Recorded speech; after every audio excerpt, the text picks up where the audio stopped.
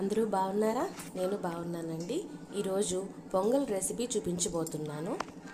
నాకు చాలా ఇష్టమైన బ్రేక్ఫాస్ట్ అనమాట ఇది పెళ్ళిళ్ళలో బ్రేక్ఫాస్ట్ అరేంజ్ చేసినప్పుడు ఇలా చేస్తూ ఉంటారు. ఇది వన్ కప్ రైస్కి అంతే క్వాంటిటీలో పెసరపప్పు తీసుకున్నాను. కుక్కర్లో చేస్తున్నాను. కుక్కర్ వేడి చేసుకుని టూ టేబుల్ స్పూన్స్ వరకు ఘీ వేసుకున్నాను.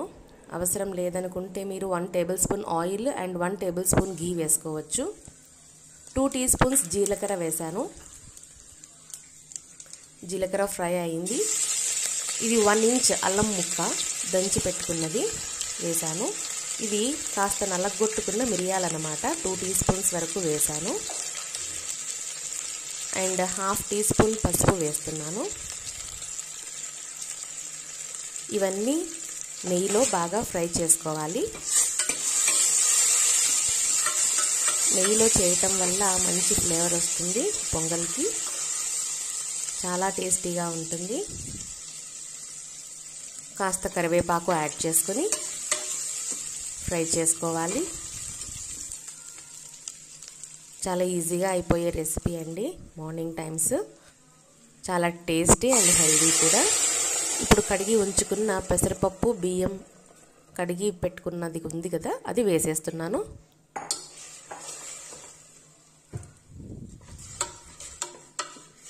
బాగా కలిపెట్టుకోవాలి. వెంటనే ఎసురు యాడ్ చేయకుండా కాసేపు ఒక రెండు నిమిషాల పాటు వీటిని ఇలాగా ఫ్రై చేసుకోవాలన్నమాట. ఇప్పుడు సరిపడా ఎసురు వేస్తున్నాను.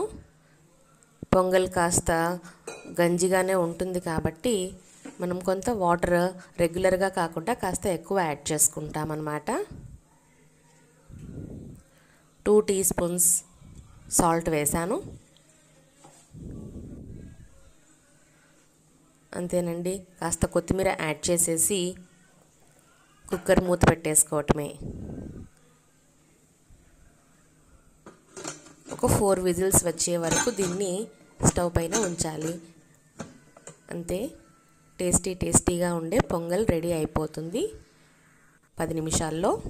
ఇప్పుడు దీనికి కావాల్సిన చట్నీ చూస్తాము.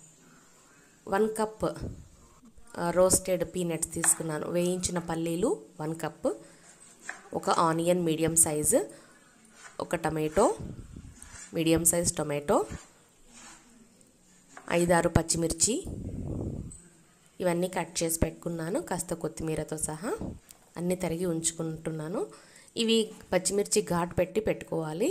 ఎందుకంటే నూనెలో వేయగానే చిట్లుతాయి అన్నమాట ఇప్పుడు కడాయిలో వన్ టీ స్పూన్ ఆయిల్ వేసుకుని పచ్చిమిర్చి వేసి ఫ్రై చేశాను. ఇప్పుడు కట్ చేసి ఉంచుకున్న ఒక మీడియం సైజ్ ఆనియన్ ఉల్లిపాయ వేసి ఫ్రై చేస్తున్నాను. ఇది పచ్చి వాసన పోయే వరకు వేగాలన్నమాట. పచ్చిమిర్చి బాగా వేగితే మంచి రుచి వస్తుంది పచ్చడికి. ఆనియన్ పచ్చిమిర్చి వేగుతున్నాయి. ఇప్పుడు వన్ కప్ టమాటో కట్ చేసి ఉంచుకున్న వన్ మీడియం సైజు టమాటో ముక్కలు ఇవి. ఇవి కూడా వేసి ఫ్రై చేస్తున్నాను.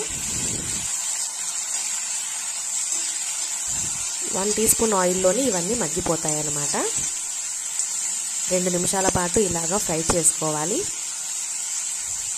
అన్నీ కలిపి పచ్చిమిర్చి ఉల్లిపాయ టొమాటో కలిపి ఫ్రై చేస్తున్నాను. ఇప్పుడు కాస్త చింతపండు యాడ్ చేస్తున్నా. కొద్దిగా చాలా తక్కువ అనమాట చింతపండు వేయటం వల్ల సరిపడా పులుపు ఉంటుంది పచ్చడికి. పచ్చిమిర్చి ఇవన్నీ వేస్తున్నాం కదా ఘాటుగా అనిపించదు. సరిపడా పులుపు ఉంటుంది. పచ్చివాసన పోయే వరకు అన్నిటినీ కలిపి ఫ్రై చేసుకోవాలి. ఒక రెండు నిమిషాల పాటు. అంతేనండి. ఇప్పుడు కాస్త కొత్తిమీర యాడ్ చేస్తున్నాను. చట్నీలో కొత్తిమీర ఫ్లేవర్ చాలా బాగుంటుంది. అన్నీ కలిపి ఇంకొక నిమిషం పాటు ఫ్రై చేసుకోవటమే. ఇలా ఫ్రై చేసుకున్న వాటిని ఒక మిక్సీ బౌల్లోకి ట్రాన్స్ఫర్ చేసుకుంటాము. బాగా వేగిపోయినాయి. ఈ వన్ కప్ పల్లీలు ప్లస్ మనం ఇప్పుడు వేయించి పెట్టుకున్న చట్నీ మిశ్రమం అంతా కూడా మిక్సీ జార్లో వేసుకుంటున్నాను. దీనికి ఒకటిన్నర టీ స్పూన్ సాల్ట్ యాడ్ చేసుకుంటున్నాను. పొంగల్ రెడీ అయిపోయిందండి. అంతే చట్నీ. అంతేనండి రెడీ అయిపోయింది. పొంగల్ చట్నీ. లైక్ చేయండి సబ్స్క్రైబ్ చేయండి షేర్ చేయండి.